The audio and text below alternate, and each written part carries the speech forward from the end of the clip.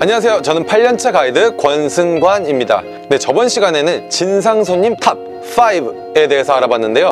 이 손님 얼굴 쳐다보는 것도 소름 끼쳐요. 본인 여행을 본인이 망치는 겁니다. 저희 가이드 일은 희노애락의 반복이에요. 손님에 의해서 기분이 상하거나 혹은 기분이 좋거나 그런 기분이 하루에도 여러 번 왔다 갔다 합니다. 과연 어떤 일이 있으면 우리가 더욱 기분 좋게 일을 할 수 있을까요? 그래서 준비해봤습니다. 잊을 수 없는 손님 top 5.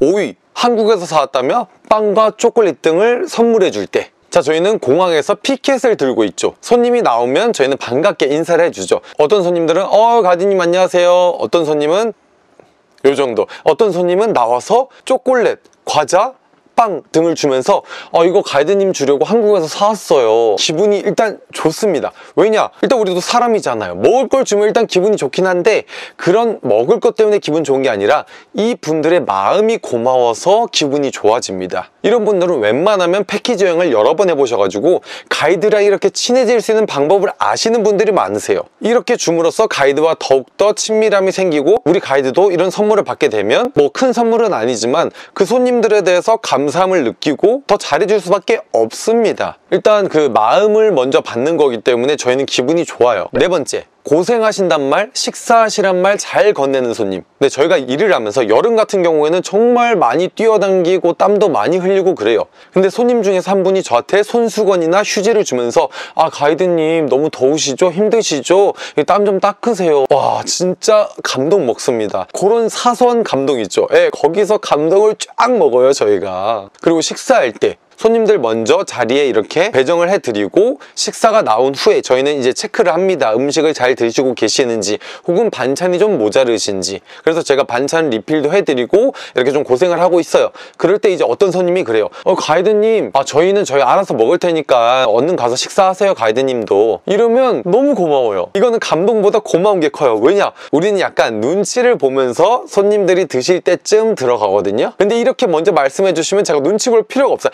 그냥 들어가서 맛있게 먹으면 돼요. 고생하신다 수고하신다 이런 말들이 저희한테는 큰 도움이 됩니다. 세 번째 서로 다른 일행이지만 그 속에서 분위기를 정말 좋게 만들어주시는 분위기 메이커. 네, 저희가 일을 하면서 온갖 유형의 손님들을 맞이하게 됩니다. 예를 들어서 차에서 저희가 멘트를 하고 있어요. 근데 어떤 분들은 정말 열심히 들어요. 근데 어쩔 경우에는 정말 손님들이 다 조용하신 편이에요. 그래서 제가 얘기해도 뭐 이제 반응도 없고 창밖을 보거나 아니면 핸드폰을 보거나 제가 멘트를 할 때 뭔가 그냥 의자를 보면서 얘기를 하는 것 같아요. 사람을 보는 게 아니라. 저도 약간 민망하기도 하고 멘트할 맛이 솔직히 좀 떨어집니다 아니다. 근데 한 손님이 항상 반응이 좋아요. 아 맞아요. 아 맞아요. 그랬던 것 같아요. 아 맞아요. 가이드님 그거 좋은 것 같아요. 이런 식으로 저한테 장단을 맞춰줍니다. 그러면 제 기분도 업이 되고 다른 손님들도 기분이 업이 돼요. 마카오 같은 경우에는 윈펠리스 호텔 가요. 진짜 분수 막 빵빵 터지고 난리가 납니다. 근데 어떤 손님들은 굉장히 조용해요. 그냥 근데 어떤 손님은 막 춤을 추고 난리를 부립니다. 그럼 그 옆에서 조용히 보시는 분들도 자기도 모르게 기분이 좋아져요. 그래서 저희는 그런 손님들을 정말 좋아합니다. 분위기를 띄워주신 손님들 분위기 메이커. 두 번째 팁 팍팍 주시는 손님들. 어, 제 가이드 직업은 제가 좋아서 하는 일이기도 하지만 가장 중요한 거 첫 번째는 뭐예요? 그죠? 돈을 벌기 위해서 하는 일이에요. 그래서 저한테 팁을 주면 제가 그거를 막 싫어하고 그럴 이유는 없습니다. 왜냐면 팁을 준다는 거는 제가 그만큼 일을 열심히 했다는 뜻이거든요. 팁을 주는 유형이 세 가지가 있습니다. 첫 번째, 공항에서 절 보자마자 팁을 주시는 손님.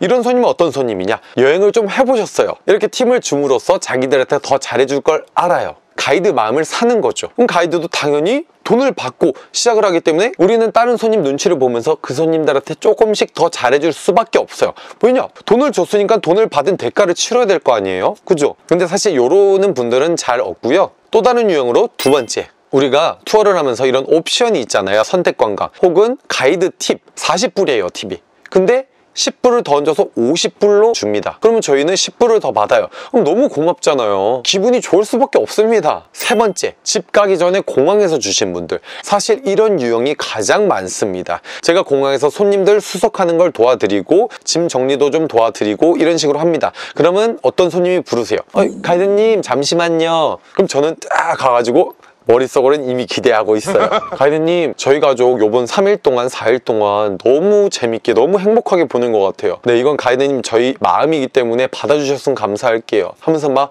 30불 40불 50불 최대 200불까지 받아봤습니다. 미국 달러 200불 주면서 아유 가드님 진짜 고생 많이 했어요. 저희 가족들 다음에 오면 가드님 꼭 다시 한번 찾을게요. 이런 말 들으면 내가 정말 열심히 일을 했구나. 이 손님들을 만족시켜 줬구나. 이런 느낌이 확 듭니다 솔직히 저는 팁을 받기 위해서 열심히 일을 하는 건 아니고요. 정말 열심히 해서 이분들이 여기 놀러 와서 즐겁고 만족스러운 여행을 하고 돌아가시면 그걸로 정말 행복합니다. 하지만 팁까지 얹혀주면 진짜 금상첨화.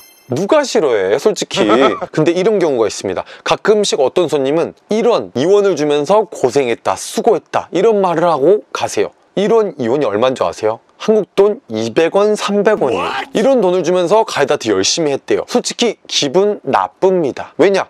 우리 입장을 바꿔서 생각해 볼게요. 제가 서빙을 정말 열심히 해줬어요. 근데 어떤 사람이 와서 아우 서빙 진짜 열심히 하네. 아우 너무 고마워요. 자 100원. 100원 주면서 서빙 열심히 했대요 그러면 정말 기분 나쁩니다. 절대로 좋지가 않아요. 오히려 좋았던 기분 다 상합니다. 그냥 자기 주머니에 동전 넣고 가기가 싫은 거야. 귀찮은 거지. 그냥 가이드한테 던져주고 가는 거예요. 절대로 이러지 마세요. 차라리 이럴 바에는 그냥 돈을 안 주고 고생했다 수고했다 이런 말 듣는 게 100배 1000배 만 배 좋습니다. 자 대망의 첫 번째.